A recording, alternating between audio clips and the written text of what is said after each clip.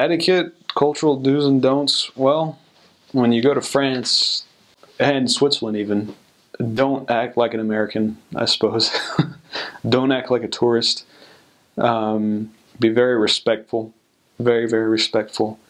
They're a wonderful people. I love the French people. They're very to the point. They'll call stupid out when they see it. You know, that's the kind of people they are, and I like that. They're more more philosophical. Um, here in America, we have a lot of math and science, and a lot of engineers and such. In France, it's a lot more. There's a lot more emphasis on philosophy and rhetoric and literature and such. So the people know how to talk, and they know how to um, how to talk to you as well. When we would go out contacting in France, we would try and make the person as comfortable as possible with us before we actually started talking about anything that had to do with religion or anything deep. Um, once once you get a French person really comfortable with you and, and on talking terms with you, you can talk to them about pretty much anything. And they won't sugarcoat anything either. They'll tell you exactly what they think about it. You know, if it's religion, they might tell you, yeah, I don't like it. You know, I think that people made it up and that it has caused more grief than good. They'll tell you that. And then it's your job to kind of to bring in the gospel, you know, from our perspective, to bring in the Book of Mormon maybe.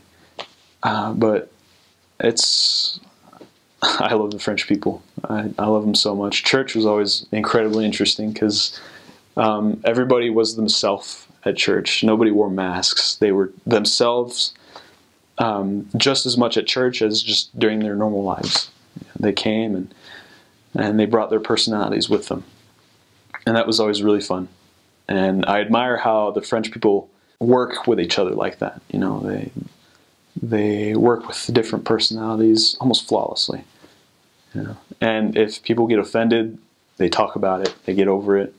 Either that or there's a huge feud.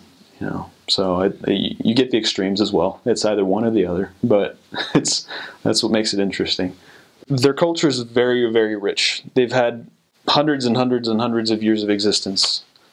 And with that comes a ton of history and a ton of culture. And you can see it just by walking through the cities. I mean, a lot of the buildings that you'll come across in France are older than America. You know, most of the cathedrals in France are hundreds of years older than America is. The French people really like it when you try to learn as much as you can about their history and their culture.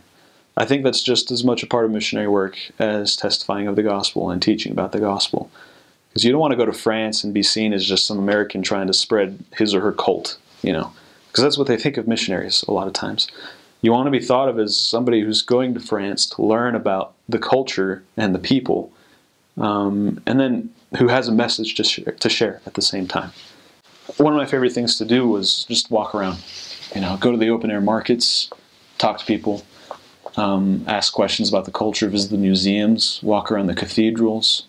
Do that as much as you can if you're going to France on your mission, or really anywhere in Europe. Because the more you know the culture and the more you know about the history of the region you're in and the history of the country, the more you'll understand where the people are coming from and why they have why they think the way they do. You know, why they have these traditions, this way of thinking.